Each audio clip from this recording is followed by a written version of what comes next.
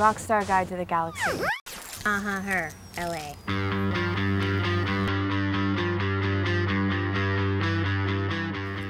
Hi there. Hi. We're uh-huh, her.